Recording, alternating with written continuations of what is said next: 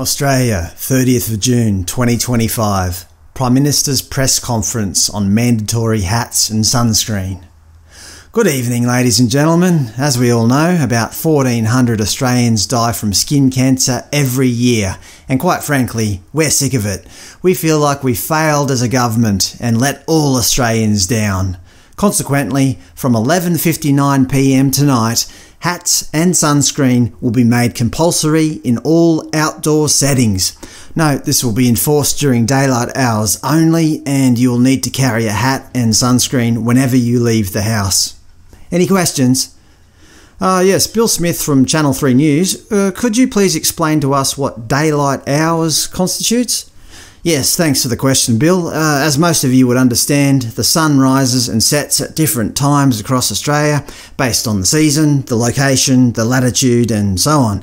I won't bore you with the scientific jargon, but anyway, to make it fair and easy to understand for all Australians, we've defined daylight hours as 3am to 9pm. This will cover all bases and protect Australians when they need it the most. Good evening, Prime Minister. Sam Tucker from Global World News. Does this mean, for example, if I'm a baker and I have to go to work at 3.30am, I have to wear a hat in outdoor settings? Uh, yes, that's correct, Sam. Does that mean I have to wear a hat and sunscreen while driving to work? Uh, yes, the science shows that even while inside a vehicle, you are susceptible to solar radiation. Therefore, it only makes sense that hats and sunscreen must be worn inside vehicles. Even at 3am?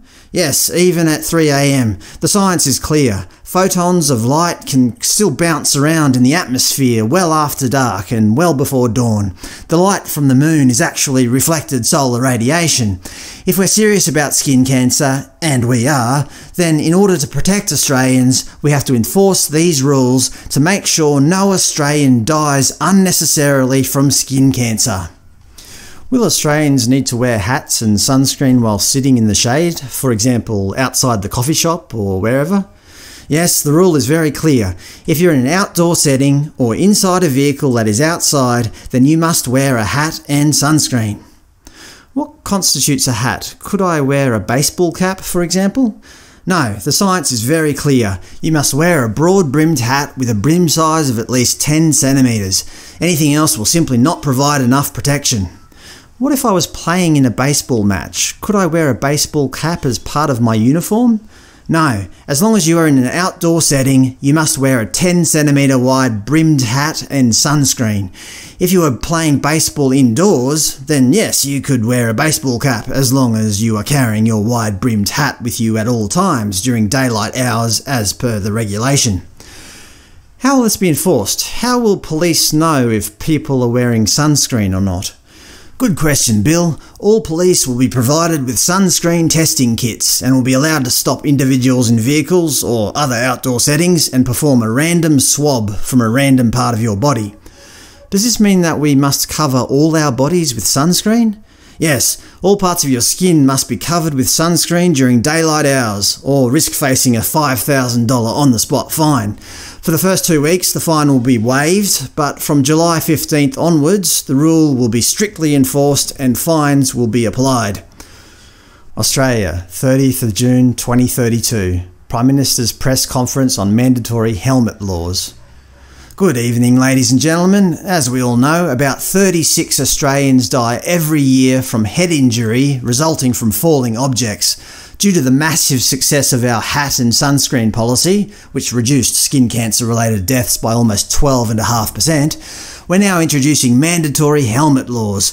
From 11.59pm onwards, whenever you leave your home, you must wear an appropriately fitted helmet to protect you from such things as falling tree branches and other such objects.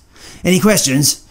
Hi, uh, Shana Hughes from Communist Weekly. Uh, which takes precedence, helmet laws or hat laws? Actually, Shana, they'll both be in effect from tomorrow.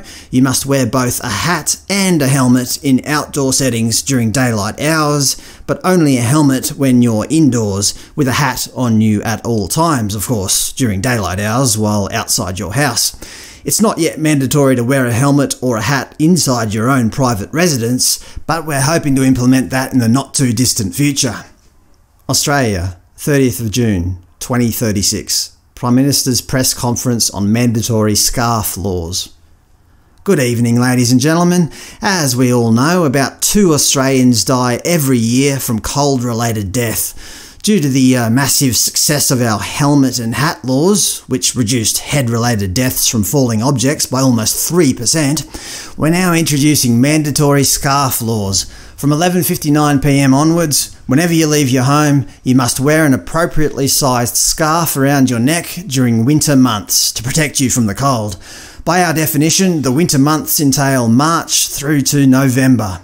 Any questions? Uh, good evening, Prime Minister. Peter Brady from the New Socialist. Will this law be enforced across all parts of Australia, regardless of climate?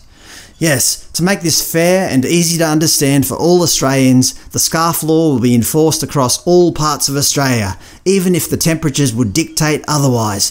The reason for this is that sometimes sudden cold temperatures can strike and potentially kill an innocent Australian.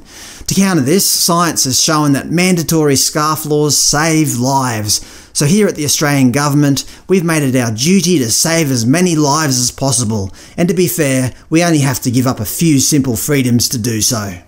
United Socialist States of Australia, 30th of June 2041. Chairman's press conference on mandatory shin padding.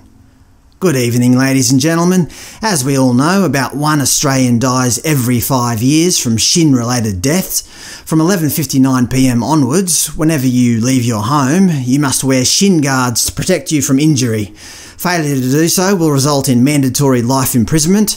We will not be taking any questions today as it was made illegal to question the party under any circumstances. Thank you for your cooperation in this matter. We are one, but we are many. We wear our hats, our scarves, and our helmets. We wear sunscreen and our shin guards. I am you are, we are Australian, but we don't wear face masks because we're all vaccinated.